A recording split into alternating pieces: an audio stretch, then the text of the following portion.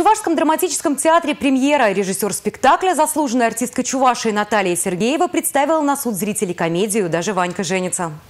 Знакомьтесь, Ванька, главный герой спектакля. Очень интересный молодой человек. Но нигде не работает и мечтает разбогатеть и стать известным. Живет в деревне с матерью. Ванька даже не думает заводить семью. Между тем у его матери совсем другие планы.